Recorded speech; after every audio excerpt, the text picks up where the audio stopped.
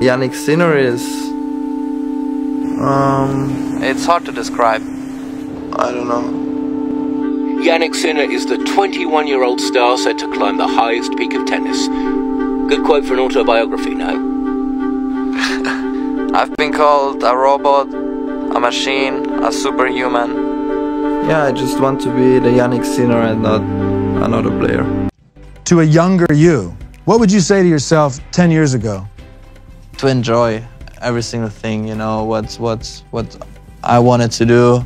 Um, okay. Favorite thing about your hometown? Here, I can take that ball from. What's your favorite thing about your hometown? What is your hometown? Uh, my hometown is uh, in very north Italy. It's it's Sesto, the, the name. Uh, there are a lot of mountains. I think that's the best part, especially in in in, uh, in the winter. A lot of snow and uh, very very beautiful. Jannik Sinner is humble. He's aiming for perfection.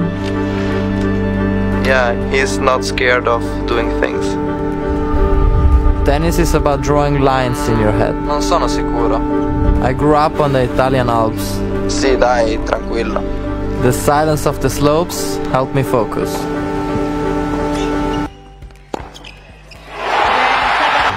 I'm a kind of player who who likes the game.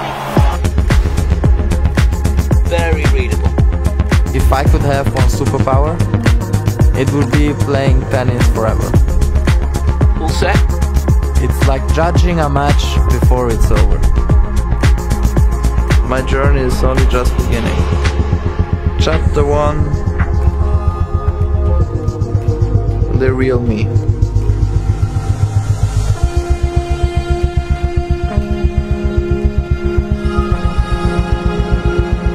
Are you ready, Jannik?